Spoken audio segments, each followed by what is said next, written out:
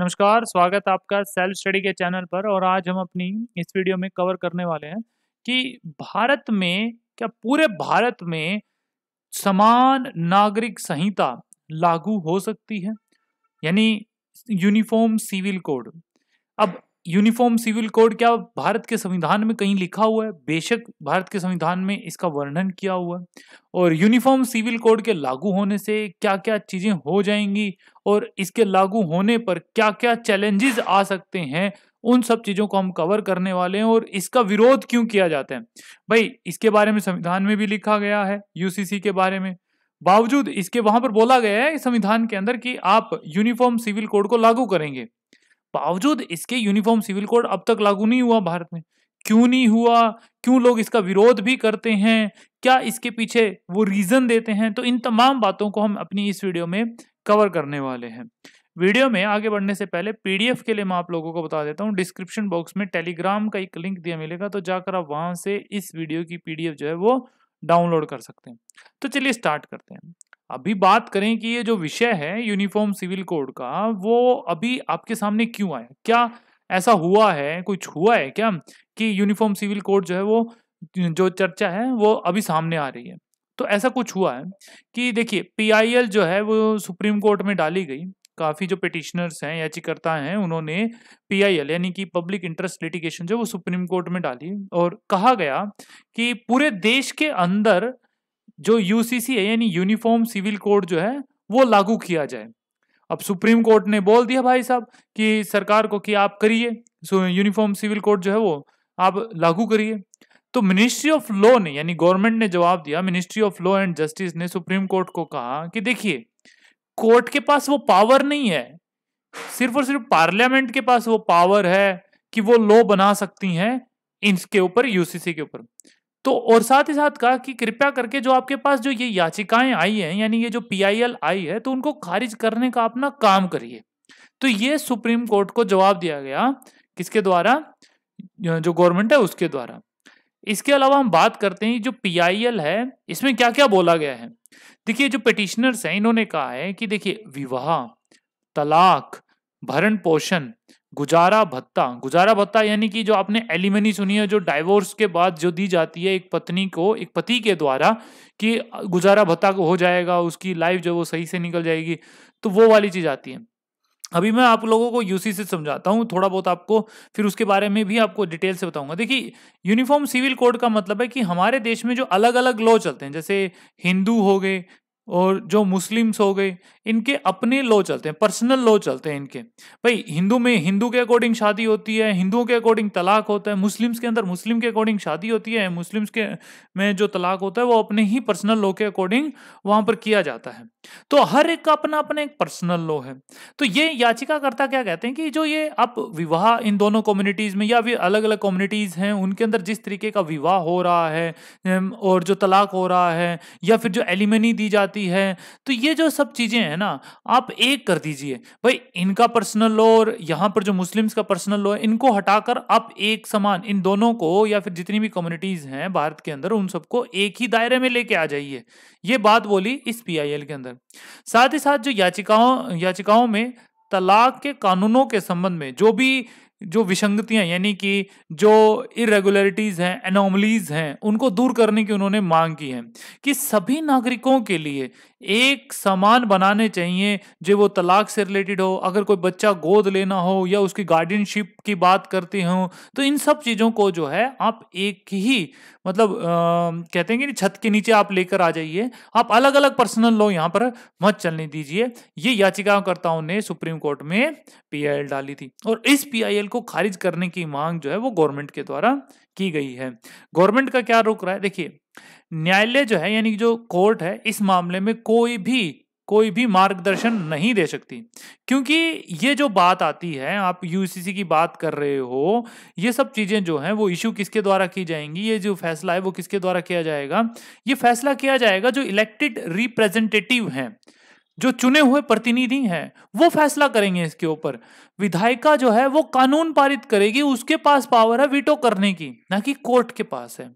और क्या गवर्नमेंट ने कभी सोचा नहीं कि भारत के अंदर यूसीसी जो है वो लागू की जाए? बेशक सोचा है और अब का नहीं है। अभी आप सोचोगे कि रातों रात में आ गया क्या यूसीसी नहीं, बहुत पुराना इवन अंग्रेज़ों के टाइम का ये बहुत पुराने टाइम से चलता आ रहा है। अभी आप लोगों को बताएँगे थोड़ा बहुत इतिहास इसके बारे में।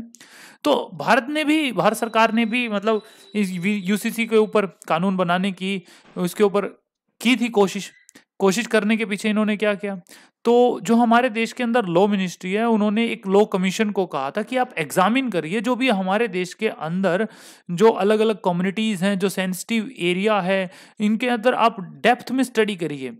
जो भी अलग अलग पर्सनल लॉ हैं, आप उनके बारे में जानिए और बताइए कि अगर यूसीसी हम लागू करते हैं तो उनके ऊपर उसका क्या क्या प्रभाव पड़ता है। ये गवर्नमेंट ने किया हुआ है। अब ये इक्कीसवां लॉ कमीशन था। इसने अपनी रिपोर्ट अगस्त 2018 में परिवार कानून सुधार इस शीर्षक से परामर्श परामर्श पत्र में जारी भी किया था। लेकिन क्या हुआ? इक्कीसवें जो लॉ कमीशन था, उसका कार्यकाल जो है वो 28 अगस्त को ही खत्म हो गया था। मतलब कोशिश की, बाद में ऐसा कुछ आगे बढ़ा नहीं। एक तो ये गवर्नमेंट का रुख हो गया। अब बात कर लेते हैं कि यूसीसी होता क्या?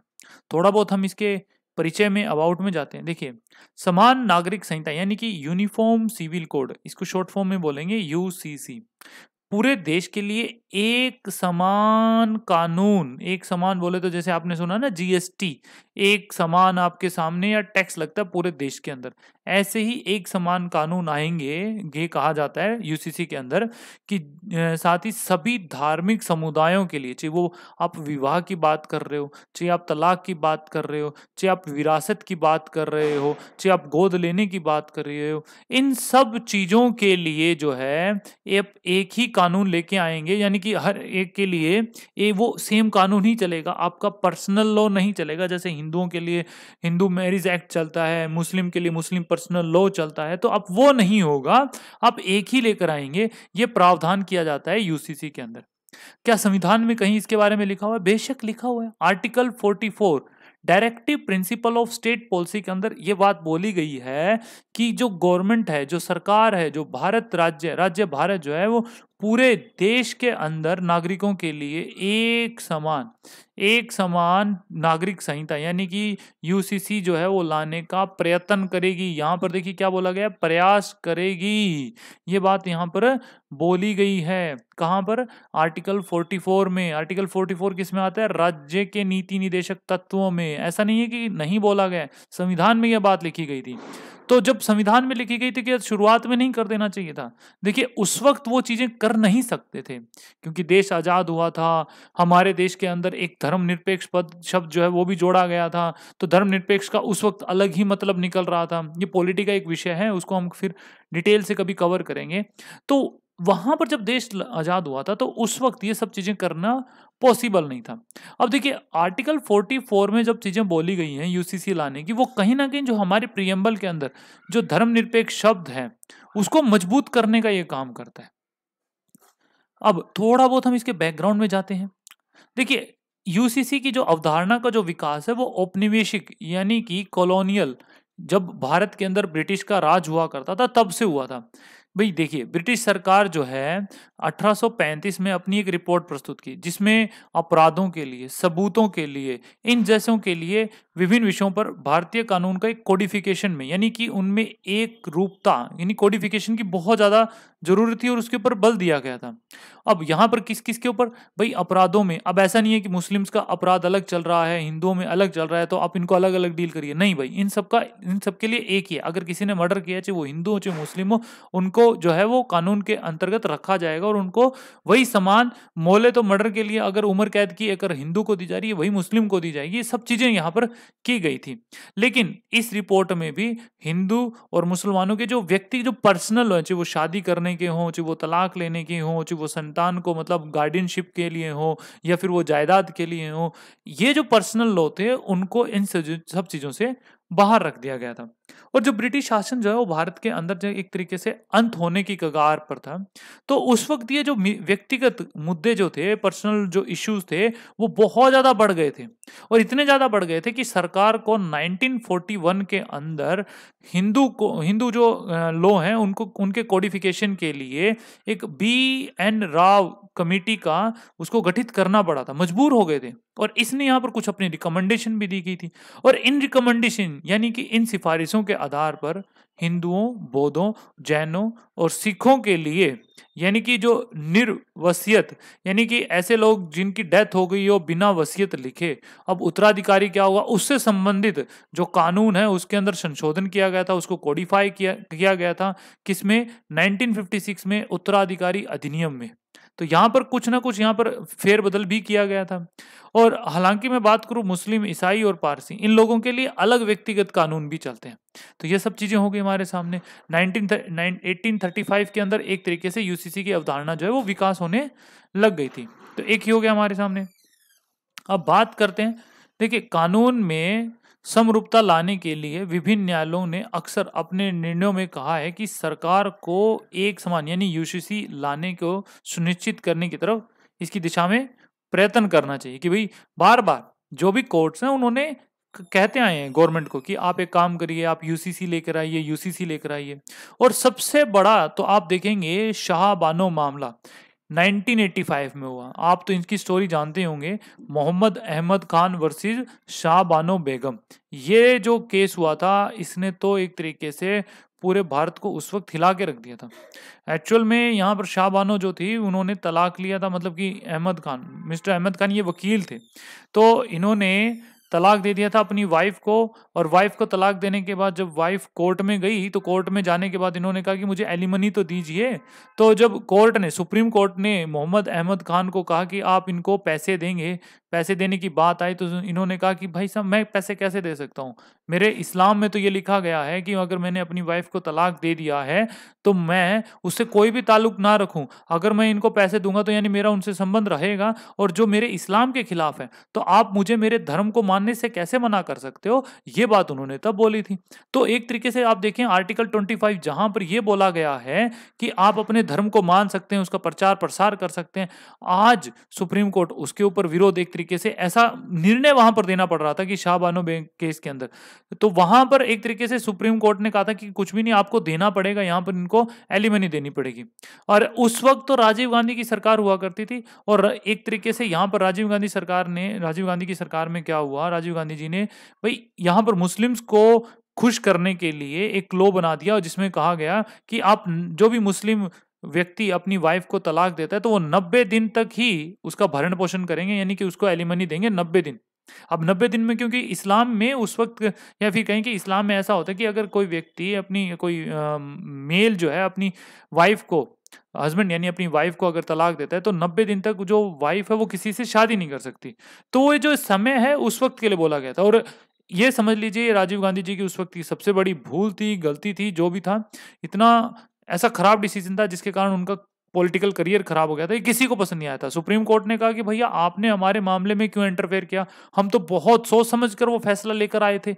और फिर इसके बाद मुस्लिम्स खुद नाराज़ हो गए थे, वो ये कहने लगे, अरे, हमारे मामले में तुम कौन होते हैं इंटरफेयर करने वाले? इधर हिंदुओं को बहुत बुरा लगा था, हिंदुओं को इसलिए बुरा लगा था, ये क्या चल रहा है भाई? अपीज करने की कोशिश की जा रही है मुस्लिम्स को यहाँ पर। तो ये सब वोट बैंकिंग चलने लग गई थी। तो ये बहुत ज़्यादा एक मामला यहाँ पर तूल पकड़ा था 1985 का, ये बहुत इंपॉर्टेंट चीज़ है। और प्राय यह तर्क भी दिया जाता है कि जो ट्रिपल तलाक है, जो बहुविवाह है, जैसी ये जो प्रथाएँ हैं, जहाँ पर महिलाओं के सम्मान की बात आती है, उनकी गरिमापूर्ण जीवन की बात आती है तो ये उनके ऊपर बहुत नेगेटिव इम्पैक्ट डालता है, जो भी पर्सनल लॉ है।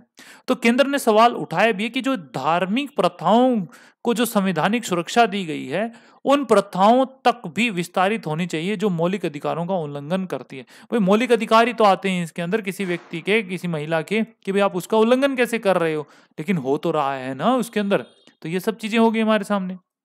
अब, भारत में जो यूनिफॉर्म सिविल कोड है, उसकी स्टेटस क्या है? वो जान लेते हैं। देखिए वर्तमान में अधिकांश भारतीय कानून जो हैं, वो यूनिफॉर्म सिविल कोड के तरीके से ही काम कर रहे हैं, उसका पालन कर रहे हैं। जैसे कि भारतीय अनुबंध अधिनियम 1872 नागरिक प्रक्रिया संहिता होगी, संपत्ति हस्तांतरण अधिनियम हो गया 1882 भागीदारी अधिनियम 1932 साक्ष्य अधिनियम 1872 यहाँ पर इंग्लिश में भी लिखा हुआ इंडियन कॉन्ट्रैक्ट एक्ट हो गया सिविल प्रोसीजर कोड हो गया ट्रांसफ़र ऑफ़ प्रॉपर्टी एक्ट हो गया पार्टनरशिप एक्ट हो गया एविडेंस एक्ट हो गया, ये सब चीज़ें इंग्लिश में यहाँ पे लिखी हुई हैं।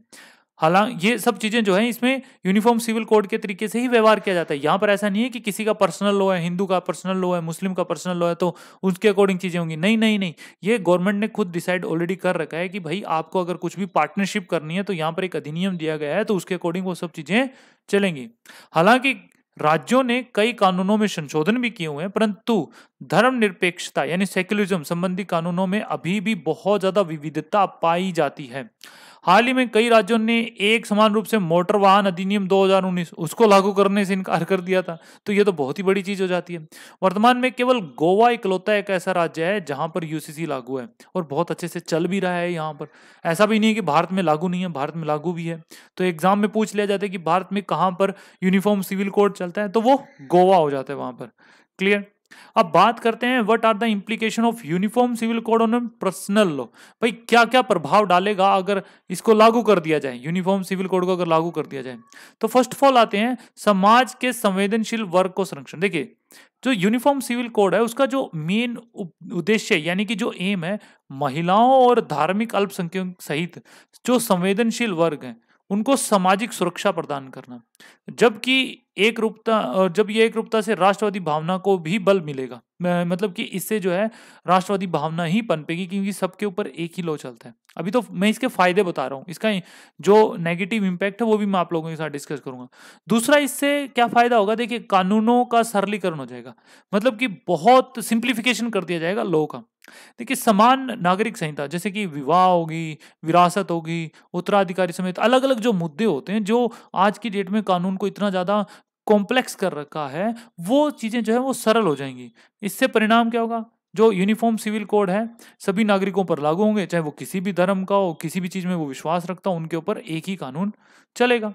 अब धर्मनिरपेक्षता के सिद्धांत को इससे और बल मिलेगा, जो हमारे देश में प्रस्तावना में बात करें, संविधान की प्रस्तावना में जो एक सेक्युलर वर्ड जोड़ा गया है, उस सेक्युलर को और ज़्यादा इससे मज़बूत हो जाएगा, अगर वो लागू हो जाता है यूसीसी दूसरी बात यह है, लैंगिक न्याय, यानी जेंडर जस्टिस हो जाएगा। भाई, हमारे देश में जो मौजूदा सभी जो व्यक्तिगत कानून है, उनको अगर समाप्त हो जाएँगे यूसीसी लागू होने के बाद, जो लैंगिक पक्षपात है, यानी जो जेंडर बायस है, वो खत्म हो जाएगा इससे। अब चुनौतियाँ क्या आती हैं? तो भाई आपने फ़ायदे तो चुन लिए, भाई सिंप्लीफिकेशन हो जाएगा, न्याय मिलने लग जाएगा। अब बात करते हैं कि भाई सब चीज़ें इतनी अच्छी हो रही हैं तो लागू करने में दिक्कत क्या है? तो चैलेंजेस हैं। आपको पता है कि भारत डाइवर्स कंट्री है। यहाँ पर आप चलते हैं ना तो थोड़ी दूर में जाकर लोगों की भाषाएँ, उनका कल्चर चेंज हो जाता है। तो आप देखिए, विभिन्न समुदायों के बीच में जो रीति रिवाज है, वो बहुत अलग हैं। इवन अगर मैं हिंदुओं की अगर मैं बात करूँ तो ये मानना कि हिंदू सब जगह एक हैं, ये भी एक मिथ है। जहाँ पर अगर आप देखते हैं, उत्तर भारत में, उत्तर भारत में हम होता है ना कि रिलेटिव जो हमारे रिलेटिव होते हैं, उनके हमारे जो रिलेटिव में जो क्लोज होते हैं, हम उनसे शादी नहीं कर सकते उत्तर भारत में। लेकिन दक्षिण भारत में इसे शुभ माना जाता है। तो आप देखिए, हिंदुओं के अंदर ही इतनी वेरिए वेरिएशन या फिर डाइवर्सिटी हमें देखने को मिल जाती है। और सेम मुसलमानों और ईसाइयों के अंदर में भी तो है, वहाँ पर भी तो बहुत ज़्यादा डाइवर्सिटी हमें देखने को मिलती है। और संविधान के द्वारा जो नागालैंड है, मेघालय और मिजोरम है, जो वहाँ के जो स्थानीय रीति रिवाज है, उनको सुरक्षा खुद संविधान ने दे रखी है। आप कैसे लेकर आ जाएँगे यूसीसी यहाँ पर? जो व्यक्तिगत कानूनों की अत्यधिक विविधता मतलब कि हमारे देश में आप देखने पर्सनल लॉ की इतनी ज़्यादा डाइवर्सिटी है, किसी भी प्रकार से उनको एक रूपता, यानी उनको यूनिफॉर्म में ला पाना बहुत ज़्यादा कठिन है। विभिन्न समुदायों के बीच साझे विचार स्थापित करना भाई एक जटिल कार्य है कि आप एक तरीके से, आप शादी जो इस तरीके से कर लीजिए, तलाक इस तरीके से कर ये बहुत ज़्यादा कठिन कार्य हो जाता है यहाँ पर। अब सांप्रदायिकता की राजनीति, देखिए, कई विशेषकों का ये मत है कि समान नागरिक संहिता की मांग केवल सांप्रदायिकता की राजनीति के संदर्भ में की जाती है, यानी अपने फ़ायदे के लिए की जाती है। और समाज का एक बड़ा वर्ग, सामाजिक सुधार की आड़ में इसे बहुसंख्यकवाद के रूप में भी देखता है, यानी कि मेजोरिटी के रूप में इसको देखते हैं कि जो मेजोरिटी है भारत के अंदर, यानी हिंदू जो मेजोरिटी है, ये उनके हक में जाएगा, इस तरीके से इसको देखा जाता है। संवैधानिक बाधा क्या है? जहाँ आर्टिकल 25 बात करता है कि आप अपने धर्म को मान मान सकते हैं, उसका प्रचार प्रसार कर सकते हैं, कानून के आप मतलब कानून में आपको सब चीज़ें दी गई हैं तो एक तरीके से ये आर्टिकल जो 14 है, उसके एक तरीके से आप देखेंगे ना, उसमें, उससे कन्फ्लिक्ट कर रहा है ये। तो यहाँ पर आपने देखा कि आर्टिकल 25 बोल रहा है कि आप मान सकते हैं, आप यूसीसी ला रहे हो तो वहाँ पर वो सब चीज़ें हो जाएँगी। यूसीसी आप देखेंगे कानून के समक्ष समान है। तो ये सब चीज़ें एक दूसरे से कॉन्फ्लिक्ट कर रही हैं यहाँ पर। तो ये दिक्कत आ जाती है इसके अलावा। आगे की राह क्या हो सकती है? देखिए, आगे की राह तो ये हो सकती है कि गवर्नमेंट है, जो सोसाइटी है, वो एक साथ, एक दूसरे के साथ आए, एक दूसरे के जो विश्वास है, उसको वो मज़बूत करें। और इंपॉर्टेंट ये है कि जो रिलीजियस कंजर्वेटिव है, उनको दूर हटाकर जो सोशल रिफॉर्म करने हैं, जो ज़रूरी हैं, उनको किया जाए। अब एक आप मोल रहे हो कि आप एक सर्वव्यापी दृष्टिकोण की बजाय मतलब कि हर एक पे लागू मतलब पूरे देश में एक साथ सब चीज़ों पे लागू करने की बजाय आप जो सेपरेट एस्पेक्ट्स हैं, उनके ऊपर आप टारगेट करिए ना। जैसे कि शादी हो गई, गोद लेना हो गया, या फिर मैं बात करूँ कि उत्तराधिकारी हो गए तो इन सब चीज़ों को आप टारगेट करिए। तो ये सब चीज़ें करने से ही जो है, आने वाले टाइम में जो ये यूसीसी जो है, वो शायद लागू हो पाए धीरे धीरे करके। तो उम्मीद करता हूँ कि आज का जो टॉपिक है, वो आप लोगों को समझ में आ गया होगा। तो समझ में आए तो ये मुझे कैसे बता सकते हैं? बेशक वीडियो को लाइक करें, चैनल को सब्सक्राइब करें, और पीडीएफ में आप लोगों को ऑलरेडी बता चुका हूँ। डिस्क्रिप्शन बॉक्स में टेलीग्राम का एक लिंक दिया मिला है। आपको वहाँ से इस वीडियो की पीडीएफ मिल जाएगी। तो बस आज के लिए इतना था। Thank you for watching this video